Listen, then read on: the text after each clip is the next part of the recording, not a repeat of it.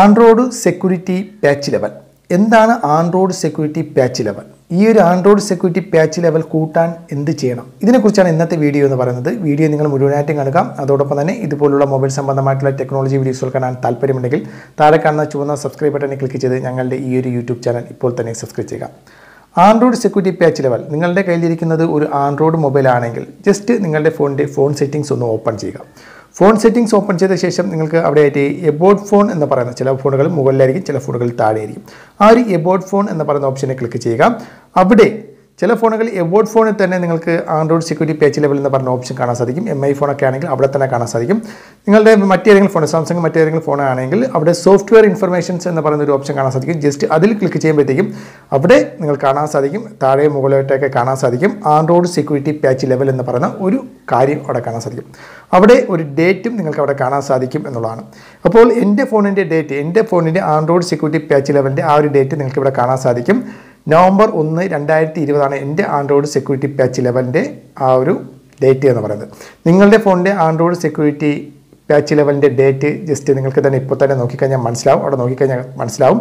അപ്പോൾ ഈ നവംബർ ഒന്ന് രണ്ടായിരത്തി ഇരുപത് കൊണ്ട് ഉദ്ദേശിക്കുന്നതെന്ന് ചോദിക്കുകയാണെങ്കിൽ നമ്മുടെ ഫോൺ ഏത് കമ്പനിയുടെ ഫോണാണോ ഇപ്പോൾ എന്റെ ഫോൺ സാംസങ്ങിന്റെ ഫോണാണ് അല്ലെങ്കിൽ എന്റെ ഫോൺ എം ഐയുടെ ഫോണാണ് എങ്കിൽ ഈ ഒരു കമ്പനിക്കാർ നമുക്ക് നൽകിയിരിക്കുന്ന സെക്യൂരിറ്റി ഡേറ്റാണ് ഈ ഒരു ആൻഡ്രോയിഡ് സെക്യൂരിറ്റി പാച്ച് ലെവൽ എന്ന് പറയുന്നത്. ഈ ഡേറ്റിന് മുമ്പുള്ള എല്ലാ സെക്യൂരിറ്റി ഇഷ്യൂസുകളും നമ്മുടെ മൊബൈൽ സുരക്ഷിതമായിരിക്കും എന്നുള്ളതാണ്. ഇപ്പോൾ കുറച്ചും കൂടി ഡീറ്റെയിൽസ് ആയിട്ട് പറയുകയാണെങ്കിൽ ഈ ഒരു ഡേറ്റ് ഇപ്പോൾ എന്റെ ഫോണിനെ സംബന്ധിച്ച് ഡിസംബർ സോറി നവംബർ ഒന്ന് രണ്ടായിരത്തി ഇരുപതാണ് എങ്കിൽ ആ ഒരു സെക്യൂരിറ്റി പാച്ച് ലെവലിന് മുമ്പ് ഇറങ്ങിയിട്ടുള്ള എല്ലാ ഇഷ്യൂസുകളും എല്ലാ ഏതെങ്കിലും നമ്മുടെ മൊബൈലിനെ അറ്റാക്ക് ചെയ്യാനോ അല്ലെങ്കിൽ നമ്മുടെ മൊബൈലിലെ ഇൻഫർമേഷൻസുകൾ ചോർത്തിക്കൊണ്ട് പോകാനോ നമ്മുടെ ഫോണിൽ ഹാക്ക് ചെയ്യാൻ എന്നതിന് വേണ്ടി എന്തെങ്കിലുമൊക്കെ മിസ്ലൈനസ് ഫയലുകളോ ഈ ഒരു ഇത്തരം കാര്യങ്ങൾ ഈ ഒരു ഡേറ്റിന് മുമ്പാണ് ഇറങ്ങിയിട്ടുള്ളത് എങ്കിൽ മനസ്സിലായില്ലേ?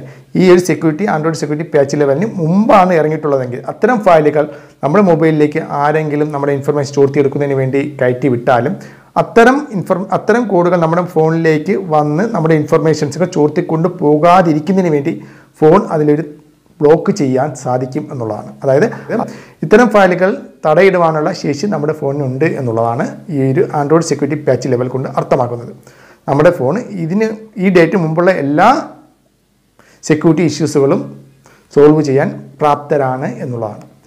എന്നാൽ ഈ ഒരു ഈ ഒരു സെക്യൂരിറ്റി കോഡിന് അല്ലെങ്കിൽ ഈ ഒരു പാച്ച് ലെവൽ ഈ ഒരു ഡേറ്റിന് ശേഷം ഇറങ്ങിയിട്ടുള്ള ഏതെങ്കിലും കോഡുകളോ ബൈനറികളോ മിസ്ലേനിയസ് ഫയലുകളോ അറ്റാക്കിംഗ് ഹാക്കിംഗ് അറ്റാക്കിംഗ് കോഡ് ഇതൊക്കെ ഉണ്ട് എങ്കിൽ അത്തരം ഫയലുകളാണ് നമ്മുടെ മൊബൈലിലേക്ക് വരുന്നത് എങ്കിൽ അത് ബ്ലോക്ക് ചെയ്യാനോ അത് അതിൽ നിന്ന് രക്ഷ നേടുവാനോ നമ്മുടെ ഫോണ് സുരക്ഷിതമല്ല.